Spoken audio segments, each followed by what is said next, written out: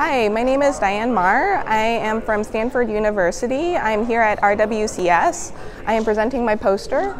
The poster is on a case of a new diagnosis of Still's disease, which presented with persistent fever and rash, and she developed hemophagocytic lymphohistiocytosis.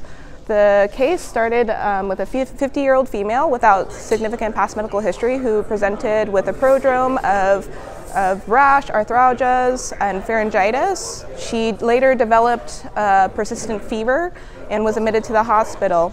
Subsequently, after a couple of days, she developed uh, persistent rash and she was diagnosed with hemophagocytic lymphohistiocytosis after developing uh, persistent liver enzyme elevations up to the 3000s.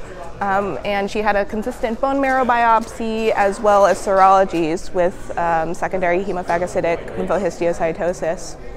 This case had several interesting points for me. One was um, that she was she presented with an atypical rash in that it was persistent and pruritic.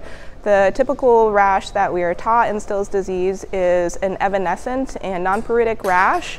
Um, a, an atypical rash is more, is more um, common than, than previously thought, so this is important to recognize as it can present with a delay in diagnosis, as typical rash is a cardinal feature of Still's disease.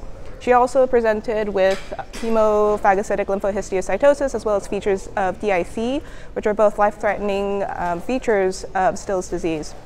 She was treated with um, with uh, anakinra, um, pulse-dose decadron, as well as um, two doses of etoposide. Typical treatment for reactive hemophagocytic lymphohistiocytosis typically consists of treatment of the underlying disease, which for Still's disease is usually either IL-1 inhi inhibition or IL-6 inhibition. Thank you.